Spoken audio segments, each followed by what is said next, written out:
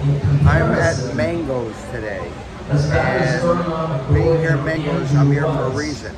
This is a charity event for the Ukrainian people. And I'm here supporting this, of course. This is many times I've supported charities for the Ukrainian people. And it goes on and on and on. You know something?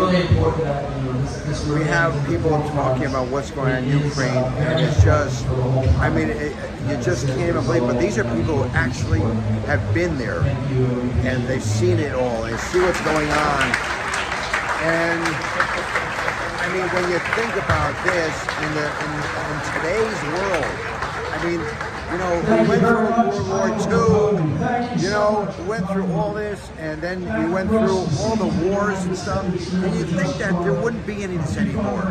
But instead, it's right in front of us. And as I say, this is another charity event that I'm at. You know, there's not much more you can do except to donate your, your finances and, and your time and, and pray. And that's what I do. I mean, there's not much I can do at this at this end of my life, where I am. But I do go to all the charity events for Ukraine. I feel so bad for what's going on to all the people. I mean, it's, it's not even realistic when you think about it. When you hear, especially when you hear firsthand, these are people who actually have been in Ukraine recently, and they tell you about the murders, the rapes. I mean, every building is being blown up with the people in it. It's it's unheard of. It just doesn't make any sense. And you sit here, what can we do? Well, you know, there's not much that we can do except in here in America except to, to provide money and security and and, and prayers. Uh, we're here. I know we have our own problems. I know that the economy stinks. The gas prices are up. The, the, the, we're going through a recession or whatever.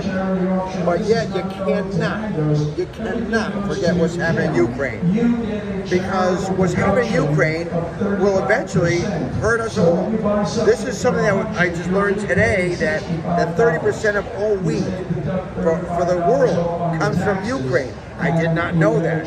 And what was just told me tonight was that if, if we lose, or I'm sorry, if Ukraine loses to Russia, Russia then controls the Black Sea, and that's the end of the, the wheat for the rest of the world. You know something? Somebody made a statement just now, which is a good statement, said that we entered World War II very late. It's true. Everybody knows that. Roosevelt didn't want to get into the war. And what happened? Well, we lost a lot of people in that war because we went in late. And this is what people are saying right now. Should we do something now? Well, you know, in World War II, we didn't have to worry about nuclear weapons. Now we do. So what do you do? I don't know. You know, your guess is as good as mine, if not better.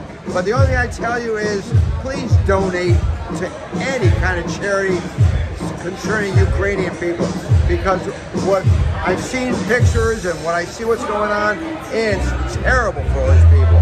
So please do that. Empty out your hearts, your wallets, whatever you can. I mean, as I say, I've been to every every charity event that, for Ukraine that I can go to. And I do that for a reason, because I feel so bad for everybody. So please do it. And Thank you.